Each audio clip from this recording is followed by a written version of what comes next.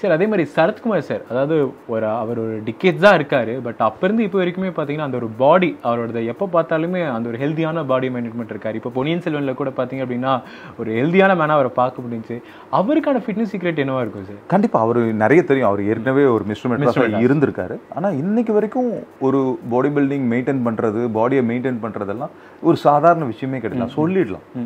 So காலையில எந்திரிச்சு ஒரு ஒர்க் அவுட் பண்ணும்போது அது அதுதான் சொல்றேன். அன்னைக்கு சொன்ன சொன்ன மாதிரி அது லவ் தான் அது.